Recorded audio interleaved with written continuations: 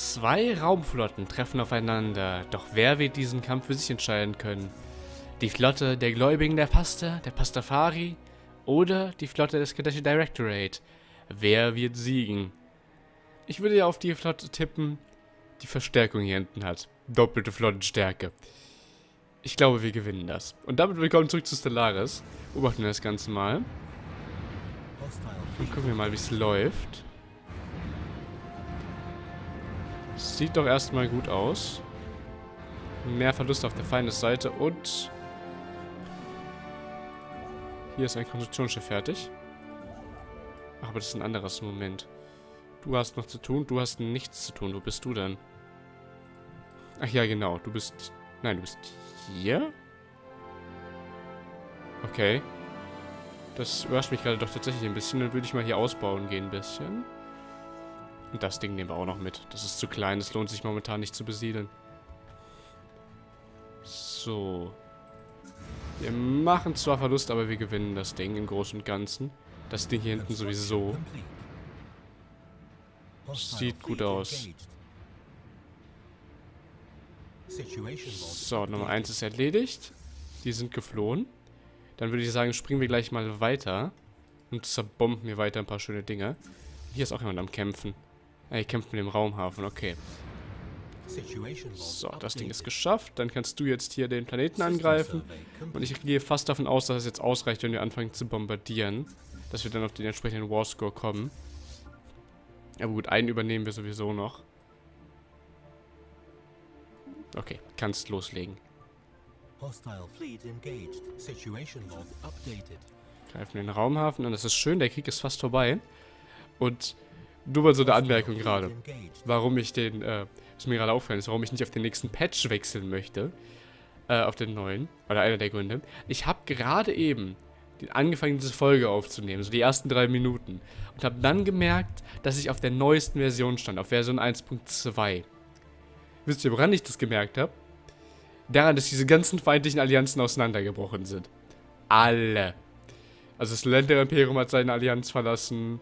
Die, äh, das Collective of Icor ist raus. Die haben sich überall gegenseitig Migrationszugang gegeben. Extrem hat sich sehr viel geändert. Was an sich ja nicht mal unbedingt schlimm ist, aber im laufenden Game ist es immer so eine Sache. Dementsprechend würde ich das jetzt erstmal so laufen lassen. Ich habe dann auch, wie gesagt, neu geladen. es ist auch nichts Wichtiges passiert. Ich fand es nur halt ganz interessant, das mal zu sehen, was das doch für Auswirkungen hat. So. Fast geschafft. Wenn die jetzt die Sachen jetzt zerschießen können... Planet ist gesichert. Wenn die jetzt die Sachen zerschießen und den Planeten belagern, dann haben wir gewonnen. Dann ist der Krieg vorbei. Ich habe mich gerade schon gefreut gehabt in dem Spiel, dass ich jetzt das Collective, äh, dass ich jetzt die Solendra Imperium angreifen kann, weil es sich einfach anbietet, aber war dann doch ein Irrtum. Und uns lieber ein paar neue Planeten hier. Ah, wunderbar. Das Wohlmandate ist vernichtet. So, das kann weg, kann weg. Kann weg, kann weg, kann weg, kann weg, kann weg, kann weg, kann weg. Irgendjemand uns beleidigt, ignorieren wir einfach, interessiert uns nicht wirklich. So. Euch schicke ich wieder los. Und euch sammle ich erstmal. Wir haben viel zu viele Transportschiffe. So. Und du darfst ins Lambda Serpentis System. Okay, du bist schon da, perfekt. Okay, dann wollen wir mal gucken. Du hast gerade nichts zu tun. Du hast das System erkundet. Du kannst jetzt hier oben ein wenig erkunden gehen. Du kannst auch... Hatte ich ernsthaft zwei, zwei Forschungsschiffe da in dem System? Ja, tatsächlich. Äh, dann erkundest du jetzt mal die Trümmer. Okay, wir müssen einen Moment warten. Es hat noch nicht realisiert, dass wir die Planeten übernommen haben. So, Projekt erforschen. Projekte erforschen. So. Das kann auch alles weg. Unsere Flotten sind jetzt natürlich erstmal verschollen, aber die kommen schon wieder. Wir haben jetzt nur ein paar, paar viele Planeten zu viel. Wir machen gerade minus 600 Energie. Das ist definitiv ein bisschen viel. Ich würde die zwei gleich mit in den Wohlsektor stecken. Dann machen wir das. Dann machen wir es. Wohl, wohl, wohl, wohl, wohl. Da ist der Wohlsektor. Zack, zack. Und machen wir das so. Damit ist der Wohlsektor vollständig. Und das hier unten ist eine neue. Das ist das Kadeshi Directorate. Okay. Neuen Sektor erstellen. So, damit sind wir auch wieder im Limit. Das wird der Kadeshi-Sektor.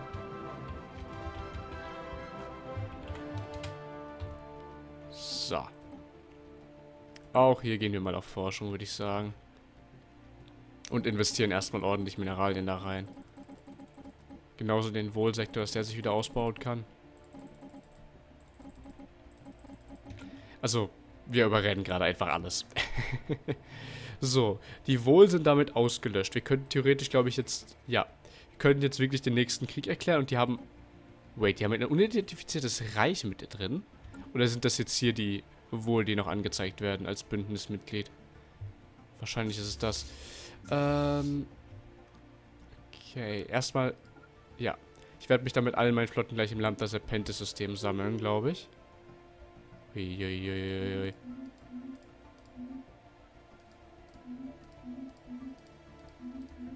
Einmal alles wegklicken. So. Wie geht's denn... Wir haben ein Kolonieschiff gebaut? Wofür war das nochmal? Ich glaube, wir hatten hier hinten noch ein paar Wüstenwelten, wenn ich mich richtig erinnere. Hier wäre eine tropische. Können viel besiedeln eigentlich. Oh, das, ist, das ist schön, wie man hier jetzt die komplette Fläche hat. Da, diese Wüstenwelt möchte ich besiedeln. Wir kolonisieren einfach weiter. Wir stehen jetzt schon recht... Also gut, wir stehen noch nicht kurz vor Sieg. Es dauert noch eine Weile. Aber wir sind auf dem richtigen Weg. So schnell, wie wir gerade expandieren. Von daher können wir da auf jeden Fall weitermachen. Würde ich sagen... Du warst der, der auf Tundra-Welten lebt. Für aride Welten habe ich leider gerade niemanden. Aber für tropische Welten. Und da hatte ich hier mindestens eine gesehen. Hier wäre eine Tundra-Welt. Dementsprechend baue ich hier ein Kolonieschiff. Ähm, mit denen. Tundra. Kleine tropische Welt, da eine recht große tropische Welt. Die nehmen wir mit. So, und auch hier nehmen wir die. So. Du hast nichts zu tun, aber für dich hatte ich auch keinen Anführer. Genau, ich erinnere mich. Du hast ebenfalls gerade nichts zu tun. Du solltest aber bald mal wieder was zu tun bekommen. Eigentlich. Äh. Ja, du darfst hier erstmal eine Wurmlochstation bauen. Dann können wir wieder das komplette Reich überspannen. Und nur mal so aus Interesse. Ja, jetzt werden die anderen auch nicht mehr angezeigt. Ich habe die gerade gesehen. Jetzt sind die wieder nur zu zweit. Kann ich die Kadeshi jetzt theoretisch gleich vernichten? Wenn ja, würde ich das machen, einfach damit wir die, äh, damit wir uns keine Sorgen um die Separatisten machen müssen. Ich bezweifle es aber ehrlich gesagt. Dati. Cash Suras. Und nochmal vier weitere Systeme. Asale. Ja, vor allem, wenn man drei Planeten in einem System hat, wird das schwierig. Okay. Die Kadeshi vernichten können wir jetzt nicht im nächsten Krieg, leider. Ähm, das heißt, die Otari können wir die äh, wahrscheinlich auch nicht. Ich würde sie trotzdem gleich nochmal angreifen, wahrscheinlich. Was sagen denn die Fraktionen? Denen geht es gerade recht gut. Die sind alle recht loyal, damit kann man gut arbeiten. Müssen wir mal schauen, mit wem wir als nächstes in Krieg geraten. Ob wir jetzt diese Allianz erstmal ausräumen oder ob wir uns um jemand anderes kümmern. Wie zum Beispiel hier die, die Beldros zusammen mit dem mit der Slerpanor und eben der Otari Commonality. Meine Chance hätten die nicht wirklich. Wir müssten halt nur einen Zwei-Fronten-Krieg führen eigentlich. Aber man sieht, die anderen haben keine Chance mehr. oh, stimmt, Marin Karin. Die Quest gab es ja auch noch. Randelemente auf Malgrati haben sich gruppiert, um eine quasi religiöse Organisation aufzustellen, die alle Aspekte der Marin-Karin-Blume und ihre Kultivierung kontrollieren soll. Ihr Anführer, der selbsternannte grüne Hierophant dieses Blumentempels, behauptet, für die gesamte Flora und Fauna von Malgrati zu sprechen. Er fordert exklusive Handelsrechte für die Pflanze. Dies ist natürlich völlig inakzeptabel und unmöglich, da die einheimische Pflanzenwelt von Magrati kaum strategischen oder wirtschaftlichen Wert hat und demzufolge dem Gesetz nach nicht von der Welt gebracht werden darf. Leider werden sie diese Tatsache wohl kaum so ohne weiteres akzeptieren. Na super. Wir hätten diese Pollen vernichten sollen.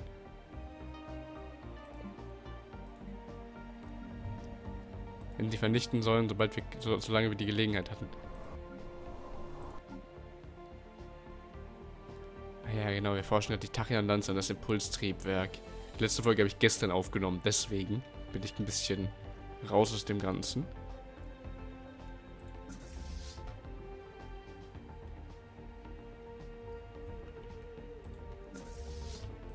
Construction complete. Hm. Der Anfang vom Ende des Pollens. Der Blumentempel und seine Anhänger machen nun eine beträchtliche Minderheit auf Magrati aus. Außerdem erreichen uns Berichte über eine beunruhigende Veränderung in der Bewegung.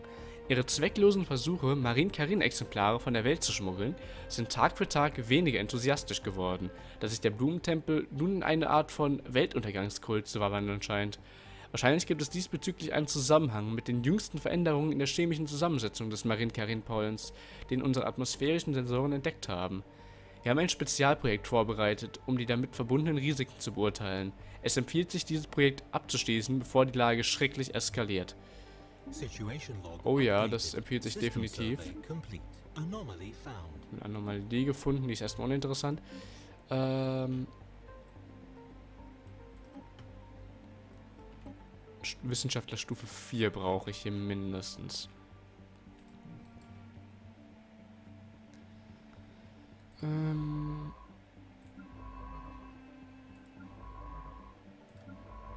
Dann kann ich dich dahin schicken. Das mache ich auch gleich. Dann darfst du dich nämlich erstmal darum kümmern. Das hat Priorität, das ist wichtiger.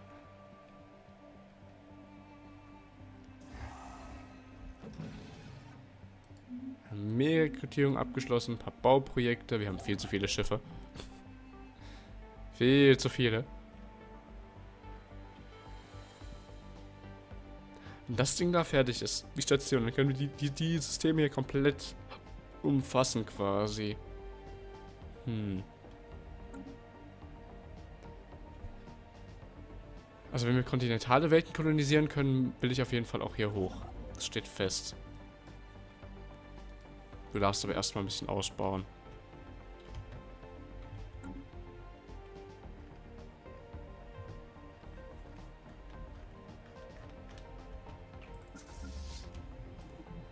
Ist immer noch am Jumpen. Achso, weil da verschiedene, glaube ich, waren in dem System. So, ihr bleibt jetzt erstmal hier. So, die Missionarsflotte. Ihr dürft euch dem Ganzen anschließen. Ihr dürft euch alle der Missionarsflotte anschließen. So, stopp, stopp, stopp.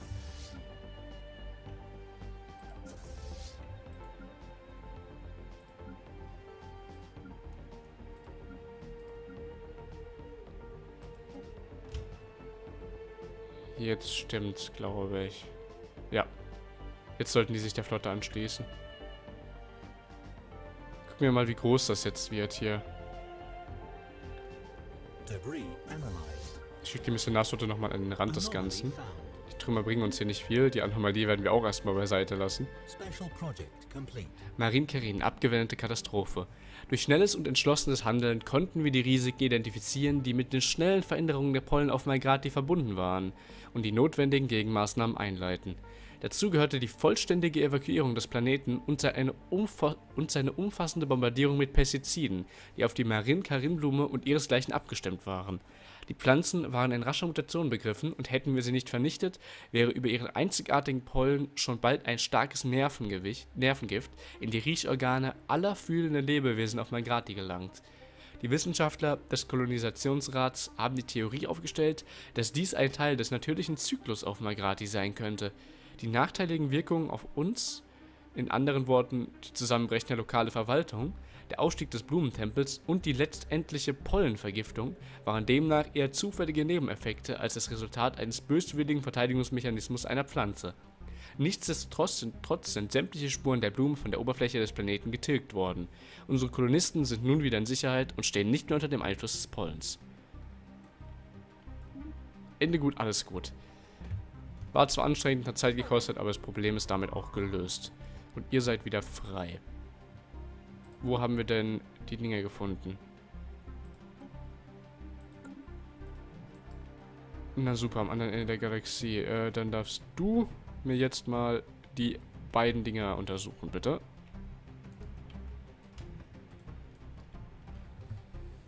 Ach, du kannst das wenigstens auch. Du weißt wenigstens, was du tust. Habe ich zumindest. Ich würde die hier gerade nochmal sammeln. Mittlerweile sollten sie auch alle irgendwo am Rand sein.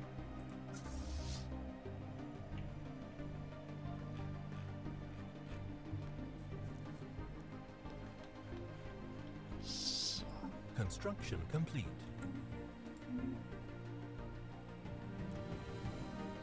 Mir gefällt es übrigens nicht, dass die ja eine Militärstation in unserem Gebiet haben. Das ist zum Beispiel eine positive Änderung mit dem Patch, dass so Militärstationen weg sind. Dass die rausfallen.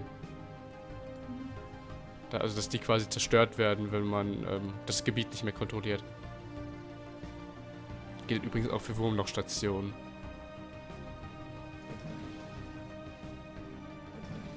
Construction complete. Das Ding kann ich ausbauen. Das Ding ist leider nicht in meiner Reichweite. Auch nicht in meiner Reichweite leider. Hm. Kann ich irgendwas Sinnvolles tun in der Nähe? Sieht gerade nämlich irgendwie nicht so wirklich danach aus. Doch, natürlich, ich kann Sanctuary endlich mal ausbauen. Warum habe ich das noch nicht gemacht? Uiuiui, das ist eine ganze Menge. Ich meine, wir können halt auch einfach vier Spezies beobachten. Also das System wird uns unglaublich viel Forschung bringen. Mittlerweile macht es nicht mehr so viel aus, weil wir halt schon sehr viel haben, aber es wäre unglaublich mächtig zu einem früheren Zeitpunkt im Spiel, glaube ich. So. Gib mir mal wieder ein paar Mineralien ab. Ich meine, wir machen über 1000 mittlerweile.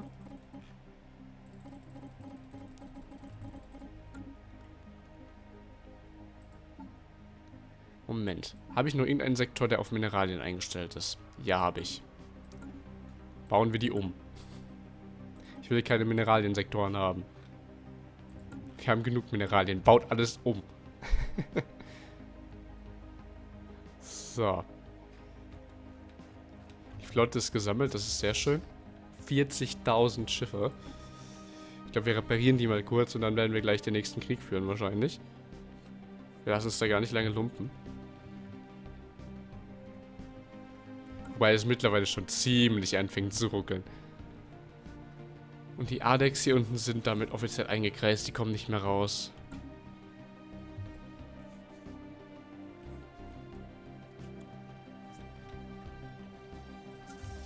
Construction complete. So, dann sammelt auch ihr euch mal. Carbonaren hat ein Bauprojekt abgeschlossen. Die Kolonieschiffe, die neuen. Sehr schön. Hier, ihr seid die Tropen. Ihr geht hier nach Itraben. Und dürft das Ding besiedeln. Und euch hatte ich mit der Tunderwelt. Ihr wart irgendwo hier in der Nähe auch. Ich glaube, ich glaub, ein Stück weiter unten.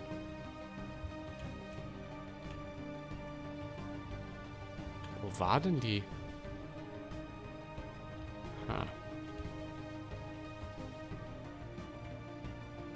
Finde ich diese Welt nicht mehr. Na super. Ach doch, hier. Okay, okay, passt. Alles bestens.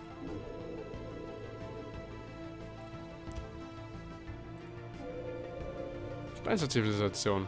Hm, okay. Freies Konstruktionsschiff haben wir auch wieder. Das ist sehr schön. Ah, wir haben, ja. Wir können die Kadeshi jetzt komplett überrennen. Und ich glaube, ich werde meine Flotte dann irgendwie in acht Teile aufteilen oder so. Das Motto, ein, eine für jeden Planeten. Okay, zehn wären das, die wir bräuchten. Ich meine, Schiffe haben sie nicht mehr viel. Die haben wir größtenteils vernichtet gerade.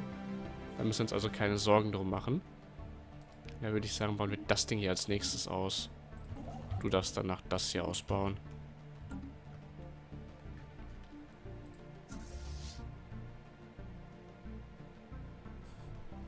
Ich mag diese Flotte.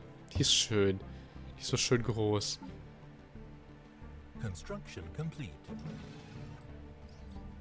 Ein gigantisches Skelett. Spezialprojekt. Du darfst es vorziehen und darfst zuerst das Projekt erforschen. Es gibt nämlich viele Punkte normalerweise. Wobei das halt auch bei uns auch wieder nicht so viel ausmacht für uns. Wir sollten aufhören, Trümmer zu analysieren. Es sei denn, es sind die von Fallen Empire. Die anderen bringen uns nichts. Also, oder so gut wie nichts. Vielleicht könnte man auch mal reparieren, eventuell. Was machen die? Fahren die fliegen jetzt einfach in den Raumhafen und werden dabei geheilt? Sieht so aus. Die 40.000er Flotte ist hier. 7.000 sind noch im Anmarsch. Ah, ich finde das schön. Die Fallen Empires werden wir auch noch zerlegen. Einfach aus Prinzip. Mindestens eins davon. Wobei wir nicht die äh, Mathurian Enclave angreifen werden erstmal. Obwohl sie, glaube ich, die schwächste ist. Aber gut, die können uns immerhin auch sehr gut leiden, tatsächlich. Die sind wir nicht beachtenswert. Und die mögen uns einfach nur nicht. Okay. Okay, okay, okay. Gut, die Kolonieschiffe sind unterwegs. Das Ding wird noch... Also das und das wird besiedelt. Ich schnapp mir mal... Ups, nein. Nein, ich wollte das zumachen. Wie mache ich das? Einfach draufklicken? Ja, okay. Ich wollte nämlich den... Wohlsektor? Ja, der Wohlsektor ist das. Da würde ich einfach mal die hier ansetzen. Die mit reinstecken. Denn die werden immerhin alle kolonisiert bald, wahrscheinlich. Auch wenn die jetzt nicht direkt von Wohl kolonisiert werden, ist es ja auch egal. Das ist halt mein Volk, was da landet. Wir haben in der Zwischenzeit eine Sabotage, na super. Construction complete.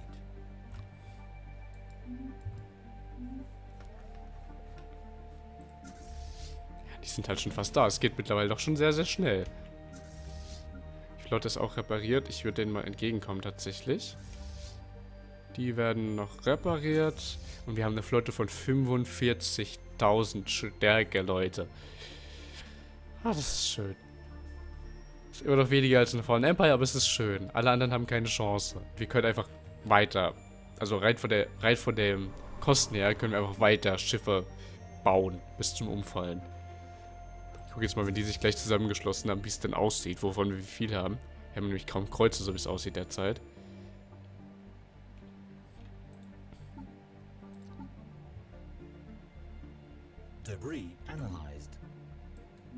Jetzt hat uns noch nicht mal Punkte gebracht, das Ding zu analysieren. Das ist super. So.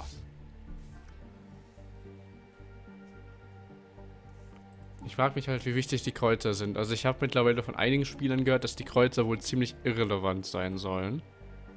Generell habe ich von einigen Leuten gehört, dass dieses Setup, wie ich es habe, ziemlich schwach sein soll. Aus dem simplen Grund, dass man eigentlich so viele große Slots wie möglich haben will. Weil man mit diesen großen Lanzen und ähnlichem einfach mehr Schaden austeilen kann.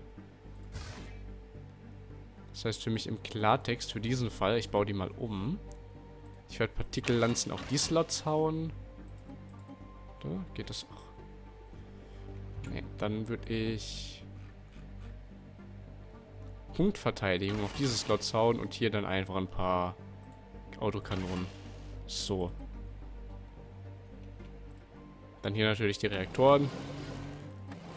Irgendwoher müssen wir ja Energie nehmen. das geht tatsächlich, das ist schön. Wobei ich das ein bisschen umstellen würde, glaube ich. Genau, machen wir es nämlich so, dann können wir Panzerung hinsetzen. Und das wird der neue Kreuzer. Mal gucken, welcher Kreuzer ist teurer, nur so das Interesse. Oh ja, der neue ist deutlich teurer. Dann würde ich den alten Bauplan einfach mal löschen und wir gucken mal. Ja, ich kann die upgraden. Das würde ich dann einfach mal mit allen machen, mal eben, dass wir, da wobei, wir kriegen bald die Tachyon-Lanze. Egal, wir machen das trotzdem. Also es hat, das ist so das Setup, was sich geändert hat zum einen. Dass man eben wesentlich stärker, also dass, dass man wohl, wenn man die Möglichkeit hat, nur auf die großen Dinger setzen sollte. Auf die ganz großen Kanonen quasi. Und die kleinen Slots mit Punktverteidigung zu, zu hämmern soll. Und nach dem, was ich bisher gesehen habe, ist es auch tatsächlich ziemlich effektiv. Und generell hier die defensiven Gefechtscomputer vor allem. So. Bei der Korvette geht das natürlich nicht und bei, der Schlachtschiffe, bei den Schlachtschiffen haben wir es schon gemacht. Können wir jetzt Upgrades installieren? 93 Schiffe werden verbessert für 7000 Mineralien, also nicht wenig. Aber dennoch werden wir das tun. Reparieren wir ein paar Schiffe. Ich guck mal kurz, was die Fraktionen so machen bei uns. Das mich nämlich mal interessieren, ob die jetzt schon Probleme bereiten. Die einzigen, die irgendwas machen, sind dieses Sibolan. Die sind nicht so problematisch. Das ist der eine Sektor. Aber okay, uns geht's gerade recht gut. Wir kolonisieren weiterhin fleißig. Und ich sehe gerade, hier einen Planeten haben, den ich eigentlich nicht haben will. Das ist Südpastania. Okay, da schicke ich dich natürlich mit dazu. Äh, welcher war das? Hier. So. Jetzt sind wir auch nicht mehr über dem Limit. Ähm... Ja. Ich weiß nicht, ob wir das Event schon kennen. Ich lese es aber mal vor. Wir haben die skelettierten Überreste, die auf Otriga 6 gefunden wurden, eingehend studiert. Wissenschaftsoffizier Saglor hat daraus die Schlussfolgerung gezogen, dass die Kreatur als eine Art organisches Raumschiff fungiert hat. In dem großen Skelett wurden deutlich kleinere Knochen von mindestens drei verschiedenen Spezies gefunden. Wir nehmen an, dass sie von Besatzungsmitgliedern stammen. Dieses organische Raumschiff hat aus unbekannten Gründen katastrophale Schäden erlitten und ist auf Otriga 6 abgestürzt. Wir haben zwar keine Hoffnung, die zum Aufziehen eines solchen Raumschiffs notwendige Biotechnologie zu verstehen, doch allein das Studium dieser Knochen hat unser Wissen deutlich vorangebracht. Oh, das ist schön, was wir da bauen können. Jetzt gucken sollen, wo das war, damit ich das Ding gleich ausbauen kann. Aber egal. Ist nicht schlimm. Und ich sehe gerade, wir haben kein Geld mehr. So, stecken wir ein bisschen was in die Sektoren. Können sich, die meisten können sich selbst, äh, selbst finanzieren. So, die Transportflotte ist repariert, das ist sehr schön. Ich habe hier noch Truppen in Riblaga. Tatsächlich reichen mir die Truppen auch erstmal, die ich habe. Und jetzt wird gleich erstmal die Missionarsflotte ausgebaut. Uiuiui, das wird ewig dauern. Gucken wir mal. ja, es wird ewig dauern. Ich sollte das Ganze nochmal abbrechen. Bis das Ding fertig ist, haben wir nämlich die nächste Tech und können das Ganze gleich nochmal ausbauen. Gut, dann warten wir jetzt an der Stelle. Wir lassen die erstmal hier stehen. Ich würde sagen, wir sehen uns dann beim nächsten Mal, wenn die nächste, äh, wenn die, wir bei der nächsten kleinen Staffel wieder sind. Wenn wir dann die Tachyon-Lanzen freischalten, unsere Schiffe upgraden und doch unbesiegbarer werden von normalen Reichen, als wir es jetzt schon sind. Und die Welt noch mehr orange einfärben. Bis dahin und ciao.